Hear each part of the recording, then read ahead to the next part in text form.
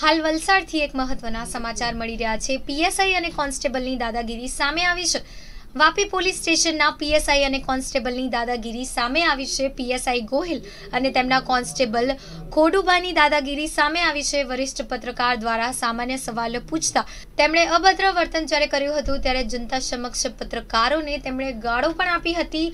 દંડો ઉડાડવાનું શરૂ કરી જનતાને ગભરાવવાની કોશિશો પણ કરવામાં આવી હતી. ત્યારે પીએસઆઈ ગોહિલના વિરોધમાં આમ જનતા દ્વારા ઉપરી અધિકારીઓને વગર કારણોસર માર મારવાની ફરિયાદો થઈ ચૂકી છે. સાથોસાથ પીએસઆઈ ગોહિલ અને કોન્સ્ટેબલ ખોડુભા વાપી ટાઉનમાં નિર્દોષ લોકોને હેરાન કરે છે. પીએસઆઈ ગોહિલ દ્વારા બહારના પ્રવાસીઓને ગાડી રોકી ધમકાવી પૈસા વસૂલ કરવામાં પણ આવે છે એવી ફરિયાદો પણ થઈ ચૂકી છે. તો જે પ્રમાણેના મહત્વના સમાચાર મળી રહ્યા છે તે પ્રમાણે જ્યારે વરિષ્ઠ પત્રકાર દ્વારા સામાન્ય સવાલો પૂછવામાં આવ્યા હતા, ત્યારે તેમના સાથે પીએસઆઈ ગોહિલ અને તેમના કોન્સ્ટેબલ ખોડુભાની દાદાગીરી સામે આવી છે. તેમણે અભદ્ર વર્તન કર્યું હતું. જનતા સમક્ષ પત્રકારોને ગાળો આપી હતી.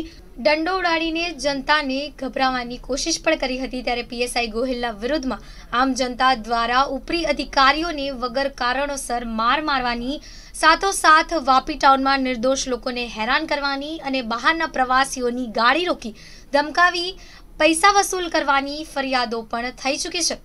ત્યારે વાપી પોલીસ સ્ટેશનના પીએસઆઈ અને કોન્સ્ટેબલની દાદાગીરી સામે આવી છે.